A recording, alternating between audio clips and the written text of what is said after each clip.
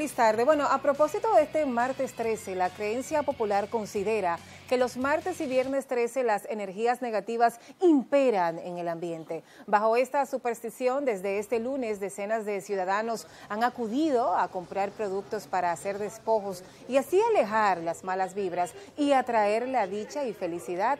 Manuel Ramírez y Manuel Soto, vendedores de diferentes productos y santerías en el mercado de la avenida Villamella, afirman que este martes 13 las ventas han estado muy activas y los productos más demandados han sido los que atraen la buena suerte. Y limpiar la casa, hacer un despojo para todo el mundo aquí. Ahí tenemos el pachulí, tenemos agua de pantallablo, de todo para hacer despojo. Muchas para, para sacar toda, toda esa, toda esa mala vibra, para poner a gente positivo.